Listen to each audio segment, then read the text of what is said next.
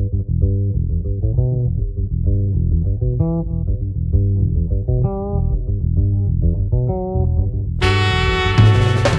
to a podcast series where I have conversations with people whose practice brings creativity, technology, culture, history, and future together. I am Faizan Naveed, and this is The Present Future.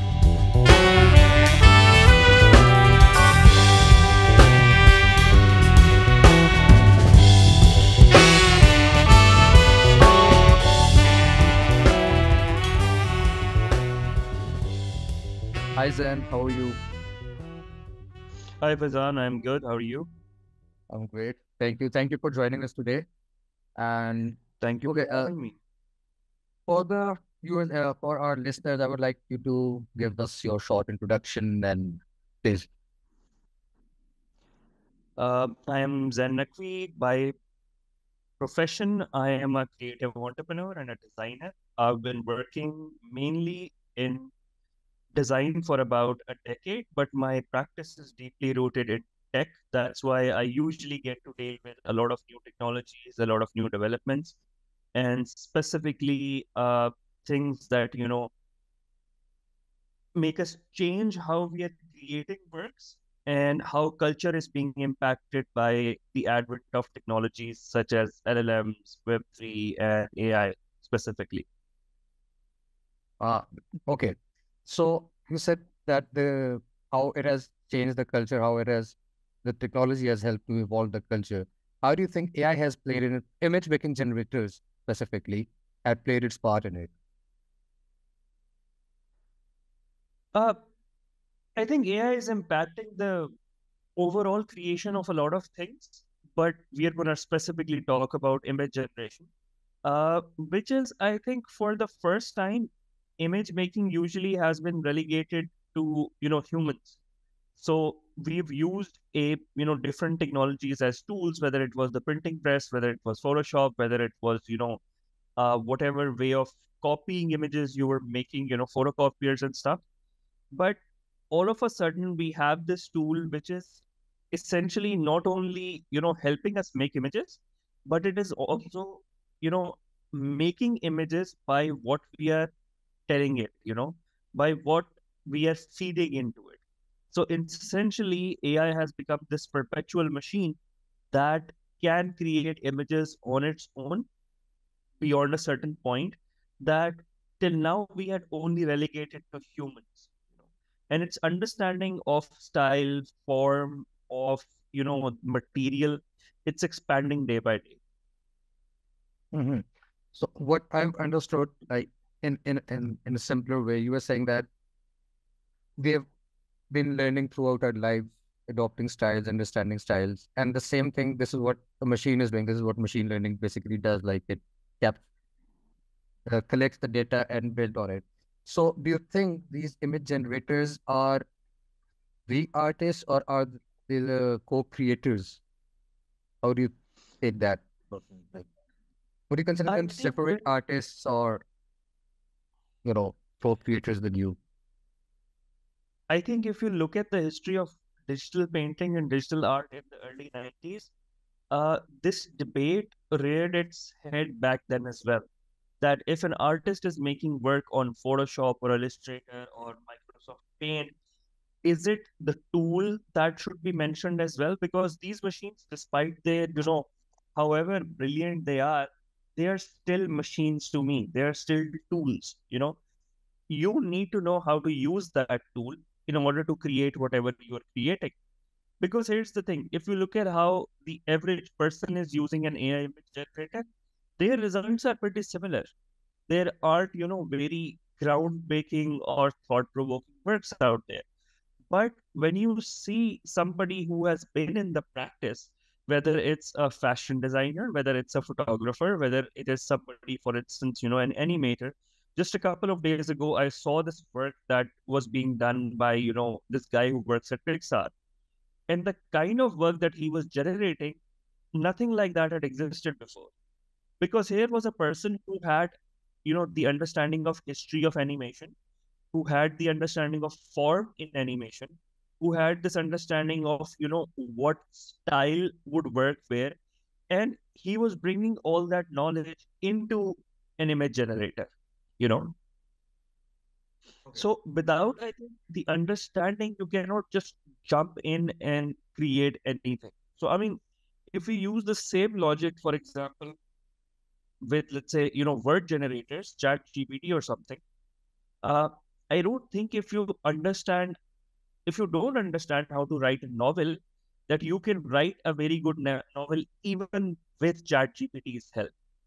You need to understand how the structure of a novel works. You need to understand how the plotting works. You need to understand what pacing is. So what all these ais right now are doing are they are built on large scales large scale models right? So whether they are medium scale models or large models large language models they are mimicking things that already exist. We do that in a certain manner as well right? Yeah. i mean our practice is a mix of different photographers different artists different writers.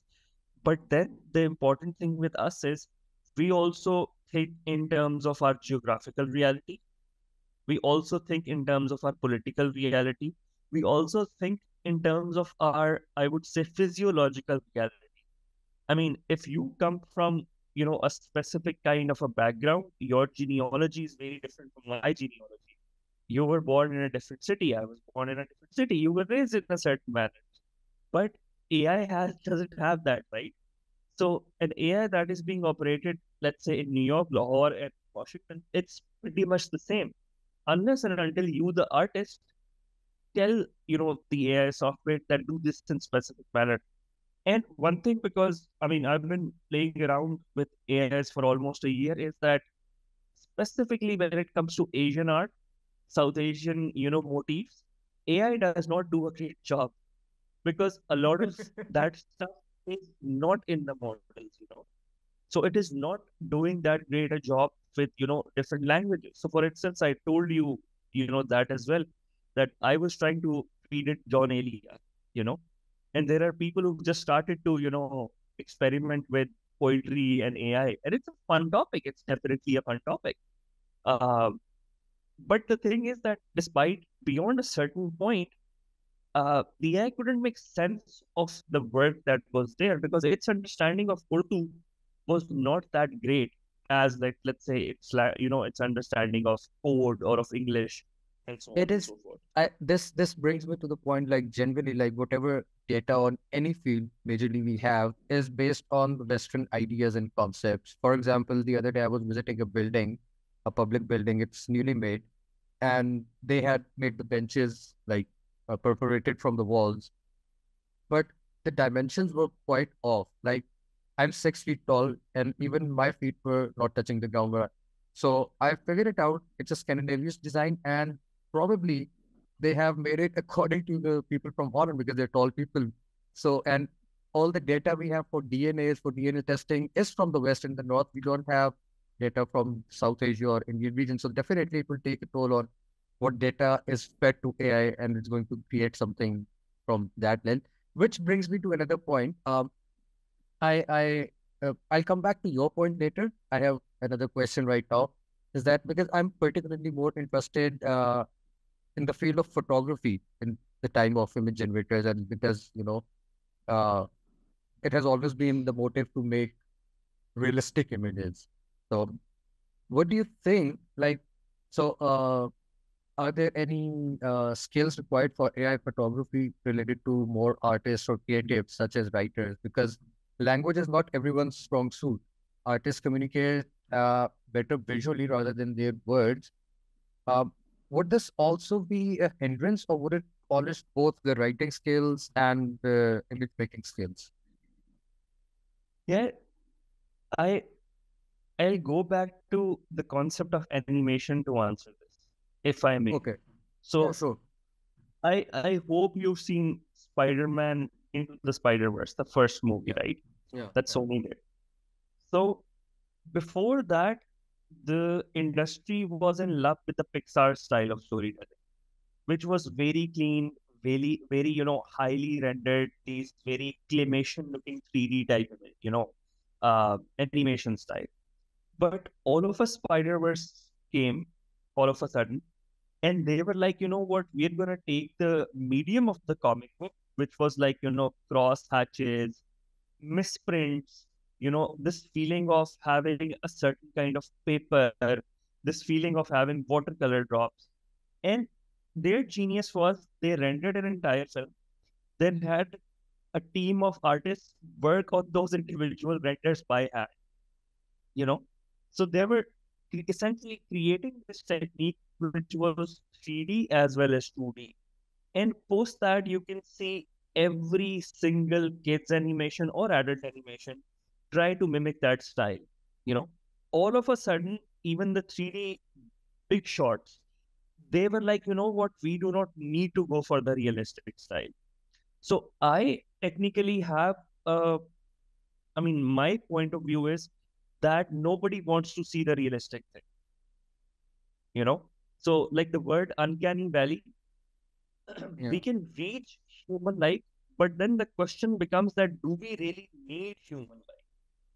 You know, another example would be early on in the life of the iPhone or the iPad. You remember there used to be this animation that agar, if you're like, you know, reading some iBook, the page actually used to turn and it had some sound effects as well, like, you know, which essentially after a couple of years, everybody realized was pretty stupid. You're not reading a book, you know. Yeah. That- now that all of us, Yeah, yeah, please carry on. No, carry on, carry on. So now all of us can read like a scroll. So my question right now with AI is that yes, a lot of people are trying to go for highly realistic, you know, but then the breakthroughs are gonna happen in areas that are not realistically possible. You know, Like, so Can you- for instance, a lot. If I make like you know just to explain this, so if you're looking at painters who usually try to paint the night, you know, like there are a lot of painters like you know I can't, I can't recall a couple of them right now. A lot of North American, you know, uh, these painters who like do like these liminal kind of paintings, you know, like very moody, uh, dense with coyotes and so on, or even old painters, you know, from the 1800s who were trying to depict like this uh, cowboy western kind of a feel. Now Yeah. they have a very limited range of palette that they are working with, you know. So it's like, you know, it's blues, it's deep greens. You do not see a lot of reds there because obviously I our eye does not, you know, recognize red Ratko. It almost looks to us as if it's like a deep black. And then all of a sudden, these painters were still painting red. You know, the whole image was of the night time, but they're still painting red flowers, you know? And their skill came in handy there because they were showing us something that does not exist in nature. It is impossible for a red flower to look bright red during, let's say, 2 or 3 a.m. in the morning. It's something that is just not happening in nature. But because it was happening in that painting, it sort of played with our perception, you know. It sort of played with our way of, you know, thinking. In a similar aspect, whenever, let's say, moonlight is shown in films, you know, it's always shot day for night. So they're shooting the entire sequence in day, but then color grading it in a manner that it looks like it's night. You know, Right. even old Raj Kapoor films and so on used to, you know, use this trick because, because the thing Yeah. was the Or, or, or they will use the filter, obviously. Exactly, exactly. The other option is that you have like this night scene which is pitch black, which nobody Yeah. wants. You know? So at Yes. near me, I personally think that there needs to be a balance where you are showing rea- reality, but it is through a lens. You know, Okay. it is definitely through a lens. It cannot be like a hundred percent reality based thing. I don't think that's gonna work. I don't think that's gonna create an, anything that you know people will be interested in. So, for example, all these metaverses and all these you know immersive worlds that people are trying to build. Imagine if I think the just to understand this, it's a comparison between let's say PUBG or you know what's the other game called? Uh, Fortnite. yeah, Fortnite. Fortnite. So it's a comparison between Fortnite and let's say COD, you know, Okay. I don't think there are a lot of people who want to play God in real life because that's literally a white war or whatever it is. It's violent. It's like you're literally an army man. But know, this is, this is yeah, yeah. But uh, I, I, I, I differ. I don't really differ here. But what I really find fascinating about using the AI for image making is it's just like any other artist to create spaces or places or objects or things that doesn't really exist, right? Even they look uh, believable. One of the really good example is like that bridge on the euro. I don't know if it's 50 euro or the designer made it that that way. Yeah, yeah, So- yeah. The fake bridges this- of the Euro. Yes, yes, yes, yes. but this brings me to this question. Like, I, I, I sometimes wonder, like, uh, now what is the then what is the role of photography in the age of image generators? So it, I personally think photography is going through the same kind of identity crisis that painting went through when photography itself came. You know, because all it. of a sudden, you, you understand that much better than me. That all of a sudden, you know, painting was reduced to okay, what am I supposed to do now? Because painting was, you know, recording history, recording a certain moment in time and all of a sudden there was this tool which did it much better which did it for much cheaper. And now the camera essentially is asking a question that what am i supposed to do? But again what i think is like these image generators can take photography to the next place as well. Specifically let's say if we're talking about post photography where you can use an ai to change something instantly. So, for example, one amazing thing, let's say that the new Samsung phones are doing is that they're letting you edit on the go. Yeah. So, for example, we, we just take this, you know, picture of me and you talking, and then you say, you know what, like that little door that is coming in my frame, just remove that, you know, and your phone instantly removes that door. Something that essentially took Photoshop and a person to do a good five ten minutes is now done in a couple of seconds. But what it also leads to is this synthetic reality of people and places existing which do not look like the same in real life. Has it You know- always been the same? Not to look as has actually look. It Uh, no, no, it has been, it has been. But do you understand that this is coming from a desire to live in that imaginary world, if we may call it that, or that synthetic world? So, I mean, Yeah. another example would be, for instance, at a certain time, only celebrities were focused on themselves, right? Right? That, okay, this is who I am, this is what my lifestyle is. Today, every teenager is doing that, you know, even if they don't have that lifestyle, you know. So with social media, people were posting pictures of these spots, whether it's a tourist spot, that does not look like that in real life. And when you go there, you also see the amount of people that are there. You see the trash that is there. You see all these, you know, issues with the buildings and so on and so forth. so getting to the point that when you come to this airbrushing of reality, you know, how does that change us as humans? because that also connects to our earlier conversation that that is also a kind of uncanny valley so for instance if you look at let's say social media influencers somehow or the other this they all have this you know uh kim kardashian and her sisters kind of aesthetic whether it's good or bad that's a different thing but they're the same kind of photocopies. Do you understand what I'm trying to say? I, I, I think I'm getting it. yes. But You know, so now this- the thing is that that in real life, if you've met somebody who's had those kind of surgeries or whatever those you know uh, injections and whatever are, those people look very, very I, I I don't know, very plastic, very doll like. They're almost like action figures from the 80s. Yeah. But this this brings me to yeah to two other questions. One is like uh how to phrase it is uh, we're talking about like this. This is how the AI is. What you just said, like the phones let you do things on the go. Well, so this is something that and that's more of an editing software job rather than photographing it because you photograph it and then you edit it, or in the old times you used to go to darkroom to edit it. But I'm talking generally about photography as a medium, as an image maker, not image editor.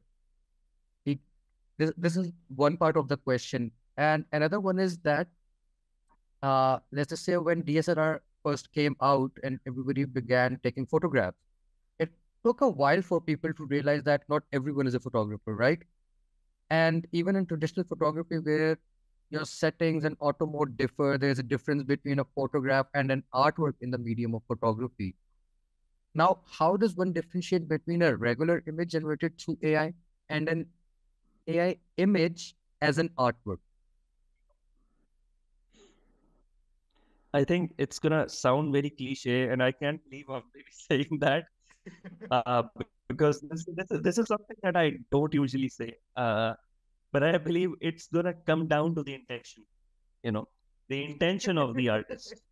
And as, as that's what I said, as cliche as is, yeah, this is very interesting, and this is actually becoming more visible that the intention matters because, you know, um, what I have noticed, it's just for observation, I don't have any ground for that per se, is that uh, in, in last couple of years, uh, AI has made image making more accessible to the masses, right? As compared to previous years because of its accessibility. It's on your phone, it's on apps, it's everywhere. You can feed your own data.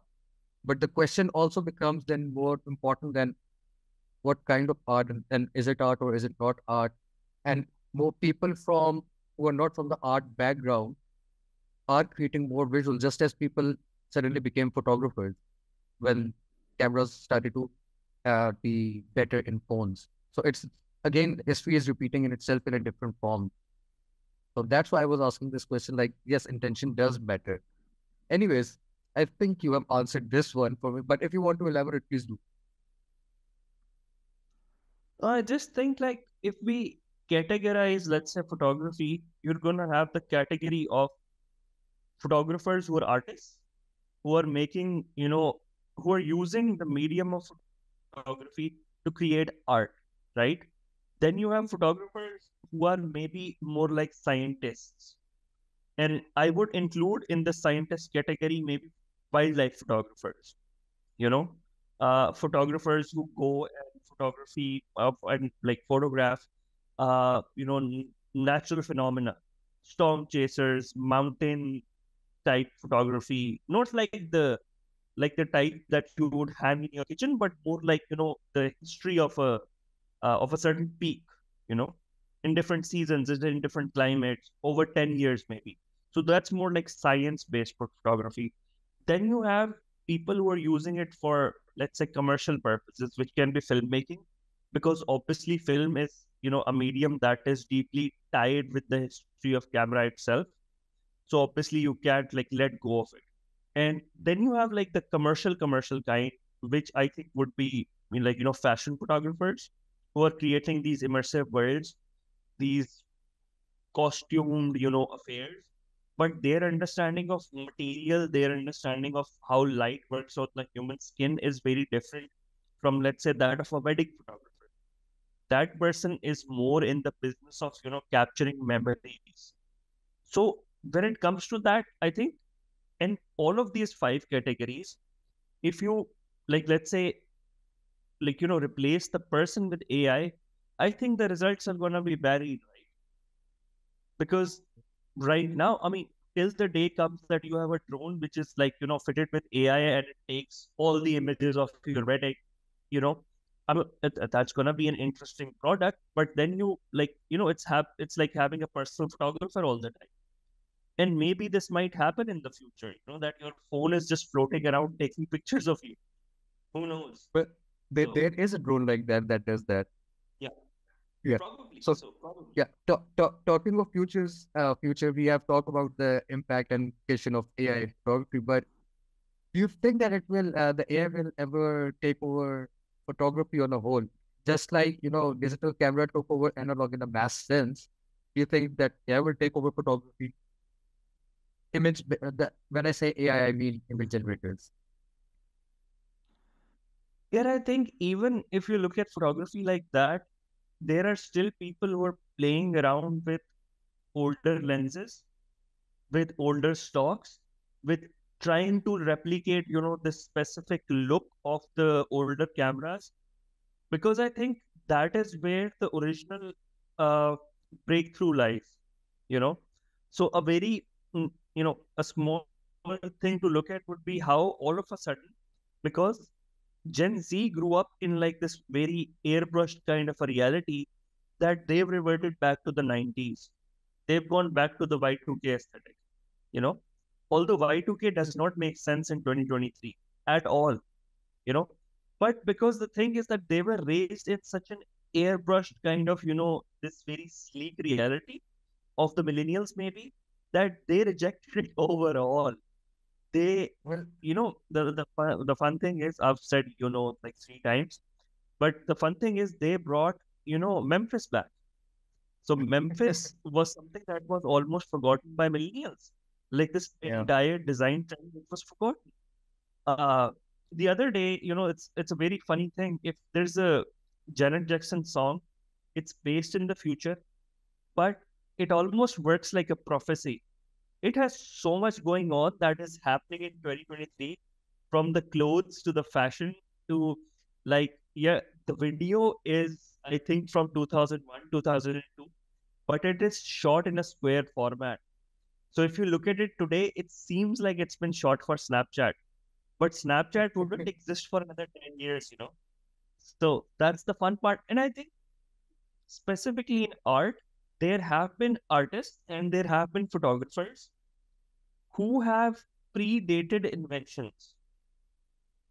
You know, whose work, when you look at it, it seems like, okay, it was created by using vectors.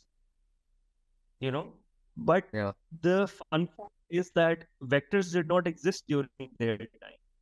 You know, or there are artists, for example, who have this kind of painterly style where it looks like as if you know uh, it's Pixar's work, or it's, for example, you know something done by a computer.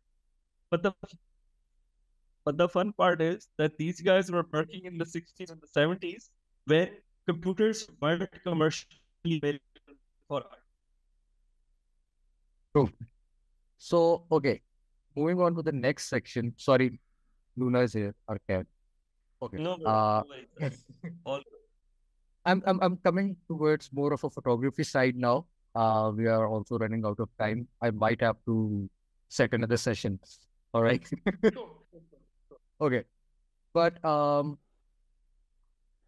Okay. So thinking of this, would you think that teaching photography, in especially at university level, requires the same number of hours? Same number of sorry? Hours. Amount of time. Hours. Credit hours or generally if, if it is a six hour studio or a photography uh, course, do you think it should require yeah. less or more? I think here, here comes the place where I have a bone to pick with academia overall. Because like our, our our general model of education is based in the 19th century, right? Yeah. You know, and my question is, what other thing from 19th century has survived till now? Nothing, absolutely nothing. You know, banking has changed. We don't send letters anymore. We don't send, you know, pony mail anymore. But yet we are fixated on this idea of uh, education that is still rooted in the 19th century. So, for instance, even in Pakistan, you know, we're still um, I mean, we we've gone back from like being in a economy to a third world country, but there are still people who are working from home. You know, the divide of the week has become it's very it's become very common for people to have three four days in the office and maybe one two days from like you know as work from home. That's the new normal. A lot of big companies, a lot of institutions. It's only in the education sector where we are equating time with knowledge, which I don't think is a like anymore is a intelligent, you know, concept to take forward. A person can maybe learn whatever you need to teach them throughout a semester in a week, or they can learn what you want to teach them uh, in an hour rather than a week. You know, my question is what that person does with that knowledge and how they learn to use it, which is important. You know, how they how they practice it with them with the entire thing. All right. So this brings me just a question popped in my head right now. If you were given a chance to teach a photography course as an AI image maker, as an AI image maker, what would you teach it? How would you plan it? Okay, first things first. One, I would not want it to be like, you know, six, seven hours. Or if it is even six, seven hours, or if it's six, you know, a studio course, uh, one, obviously, it will consist of lectures, no issue there. But I would like the lectures to be done in a way that they're conveying the crux of the information first and they're going into the fluff later. You know? Secondly, I think what is very important is for students, it is important to know what their time and place in history is. A lot of us we don't do that you know so we okay. what we do is we are teaching them a tool or a technique but we are not teaching them what impact it had on the world that's why they are often creating these artists and these brilliant minded people who do not sit well in the larger working of things so for the thing is that you know and specifically with the advent of ai everybody's understood that art culture, image making has a place in the global economy. It is not something that is done in your room as a hermit. You cannot exist like that anymore. You know? So, and like you can see as a lot of the current artists who are doing brilliant works right now, they exist more as social innovators than the hermit-like artist of the, you know, let's say that uh, 20th century. Because 20th century was about exploring yourself, right? Right now, it's about exploring the world. It's about exploring what's out there. And you can still explore yourself. Nobody's stopping you from that. But it depends. And lastly, I would request the students and anybody else who's taking the course that you need to understand that technology is going to go on, it's going to keep on happening, and maybe even it's going to outlive all of us. You know, so you can't be in this FOMO like state where you're constantly being bombarded by new information and you're constantly panicking because that does not help anybody. So, I mean, there are, there are photographers who are still, you know, photographing with some Lumos camera that was produced in the 1970s. And that's their entire thing. They photograph with that specific camera. They've spent their lives using that as a tool, you know. So when it comes to AI, one person can pick some specific version of a software and just work with that. So one thing I guess we often forget about is what about the people who like you know rig Game Boys and made cameras out of them. There's an entire history of you know the specific kind of I would like to call them artists who were using Game Boys as cameras, who were using these watches that used to come with cameras as like you know proper photographing devices. And it's a fun place in history because a Game Boy with its weird pixels and just two colors was not supposed to be used as a camera. But here were people rigging it and using it as a camera. Also, I think photography is much larger than the box that we try to limit it as an artistic practice. So I understand your work is coming from that artistic practice, and we should only talk about that. But the larger role of photography in human history has been something totally different. So today, everything, yeah. So today, everything has been changed through the advent of social media, but the camera has also been used as a tool for oppression. Technology, uh, technology has a deep-rooted history with colonialism as itself. It has a deep rooted history with oppression uh, as well. And it is because people who were colonized or who were you know enslaved that they came very late to these technologies and if you see for example the work of african american photographers who have been documenting ghettos and these slum type areas and they were the first original street photographers because they saw this need to document the life around them. They weren't going around documenting you know flowers and pots and bees and birds they were documenting the gritty life that was happening in the streets around them and that was their reality. In the same manner photography has been used as a tool of oppression for centuries now you know. Even in a place like pakistan the british came they took photographs of the so-called tribes. Okay, this is you know tribe alizai tribe this is the sayyid tribe whatever they might be. And don't you think our parents still abide by that understanding of our genealogy It does. you So know this this so brings to the and, sorry, but this and so sorry bring just to, bring bring me to this point. Like, so yeah now we have the power to create those old images to we have this opportunity to alter the history. And the question of whether it's authentic or not, because we have the visual product there to prove, okay. And that's another scheme, that's another thing to find out if it is an authentic image or not. So do you think we can decolonize ourselves through that?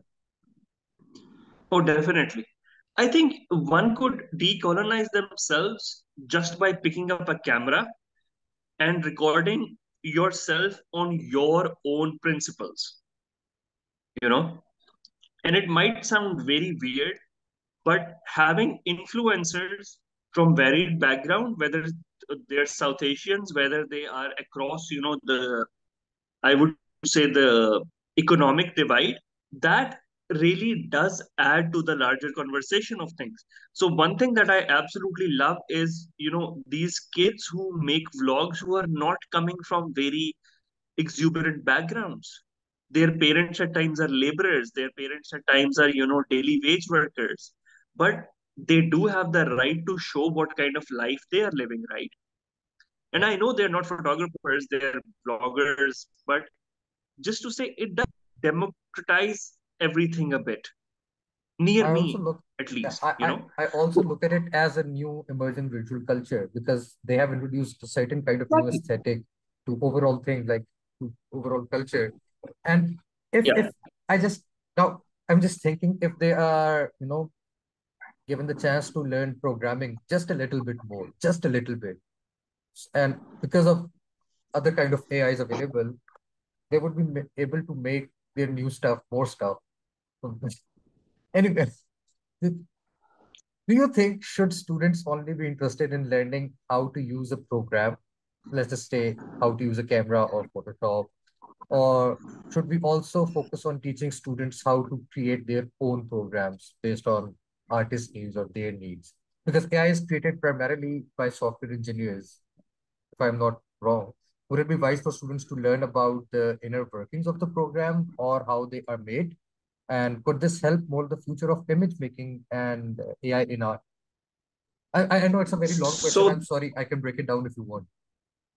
no no no that's fine it's fine It's just as three parts i mean i would like to you know answer that in order maybe but Yeah, in let's the just reverse it like the, yeah the first thing is that people who are working on building these software tools or ais they are not only software engineers you know? So for example when you open photoshop and this entire cast of people comes uh, with their names and everything yeah they're literally the experts in visual culture. They're experts in image making.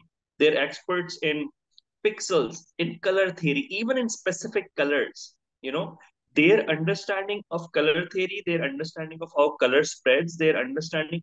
There are people you know for instance who have been studying that over the last three decades which colors have come in trend in architecture in the western sphere and which have gone out.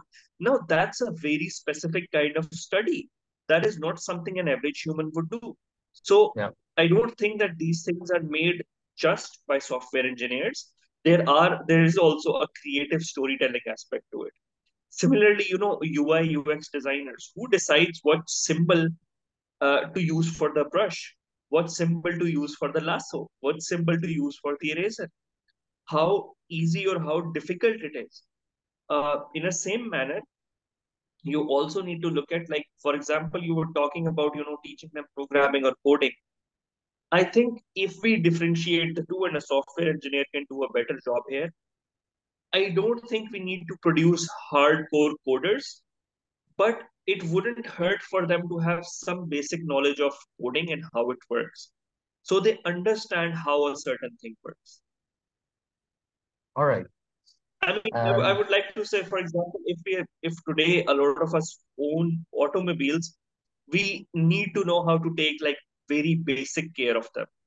We need to know yeah. how to change the wheels. We need to know how to, let's say, you know, unclog maybe you know uh, a petrol pipe and so on and so forth so at least we 20 30% understanding of the thing so you can tweak it around and customize it to your own uh, you know thing but secondly then it goes to the question that ai is very smart at learning what you want from it so here is a software that is already changing itself to your behavior you know i mean your phones do it all the time. All the you, time. You start sleeping at let's say you know nine o'clock, and the third day it's gonna tell you that oh it's time for you to sleep. You never told your phone that you were sleeping at nine o'clock.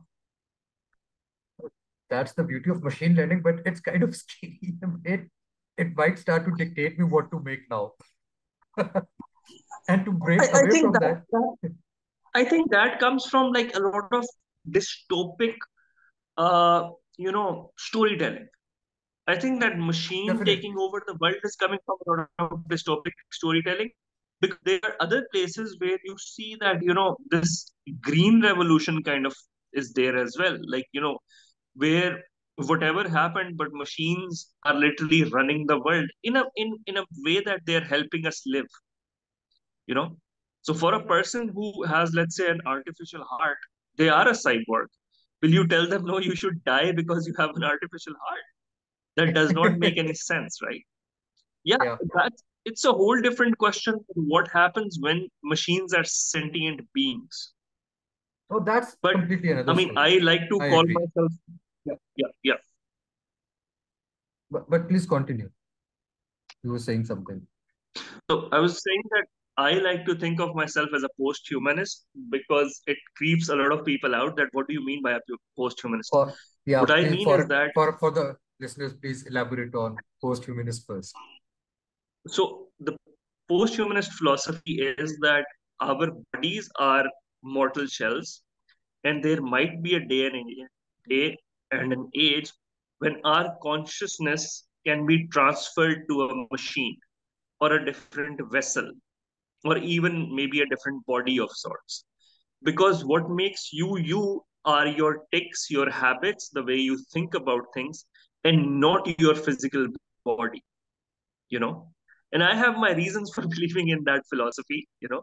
But the thing is that i do believe that when that happens humans are going to transcend transcend their bodies whether it's through a singularity that we've gained knowledge to a point that we've started putting our knowledge together in this large singularity or whether it is through uh, you know making our bodies more durable because right now we are constantly going through a process where we are headed towards death. But I think Bryan Johnson is his name. People are scared of Elon Musk. I am scared of Bryan Johnson. You know, so it's this eccentric billionaire who's been, you know, doing all these kinds of body last longer. What happens when he does make a breakthrough? So we are already living in a post-capitalist world what happens to the world when the average age of a person is 120 years which is not something out of science fiction which is something very common you know that's that's quite an interesting thought which reminds me of uh, if you have i don't know if you have seen uh, the latest season not the latest the first season of star trek picard so spoiler alert uh, jean-luc picard dies but they transfer his consciousness to another body and there's another John Picard. so yeah. Yeah. Okay. Uh so which takes me to another time. Like I'm thinking of like this would be really interesting when we could we wouldn't need a camera, we, which we still don't need after the AI thing and image generators. But if we could, you know, have our consciousness, our thinking, Apple VR set, all combined together so that when we move our eyes, we are taking photographs and it's being captured and then we are editing it through our mind. Anyways, that's the and this is how I see the future of photography and AI. How do you see it? oh definitely. Definitely. That i think hopefully will be the I, I i wish that happens because there are moments all the time when you look at something and you're like okay i need to take a picture of this. But in the time that you take out your phone or your camera that moment is gone. So essentially we are recording after images for years Yeah, you know we've not really been able to record that specific kind of a you know the thing that we wanted. Unless and until you know there are people like monet who for example like you know painted that specific thing that specific canvas at a specific time for years and years and years. That's what i'm saying. So essentially what monet did was you know you know that better than me he captured time way before any photographers did you know he was a yeah, painter. So I, I you know like it's pretty amazing that how a person would come to this understanding in back in that day and age where he would be like you know what? I'm only gonna paint the sunset at 7.30 and no other time. And no his work time. speaks for itself. His understanding of life speaks for itself. Th- This is so yeah. something that I tell everyone that this is also because of photography, because it- hadn't it been photography, we wouldn't have been looking at the others, what we call abstraction, like impressionism and all these things. These are actually super realistic things, studying light in more depth, understanding time in more depth. So instead of going to abstraction, we went to being super real. But anyways, yeah yeah um, that's just my two cents on it. Thank you so much. And it was wonderful talking to you. And I think it, not I think, it I thank you think it's quite me useful for me and quite useful for others as well. I might delete this yeah part.